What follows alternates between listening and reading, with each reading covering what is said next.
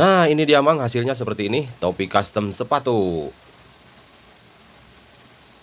Oke mungkin segitu dulu dari saya. Mudah-mudahan video ini bisa bermanfaat buat kita semua Khususnya buat saya sendiri. Dan untuk hasil yang baik terus belajar ya. Karena dengan terus belajar kalian akan mendapatkan hasil yang lebih baik. Terima kasih, selamat mencoba, dan semoga berhasil.